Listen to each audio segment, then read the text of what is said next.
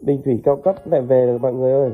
Ở đây là cái bình thủy mà em đã giới thiệu trước kia với những cái tính năng của nó là có chưa bơm tay đa dạng cái chế độ giữ nhiệt có điện chọn được tia uh, ra là tia nhỏ hoặc tia lớn và nó sẽ ra đo được cái dung tích mà nước lấy ra. Đấy.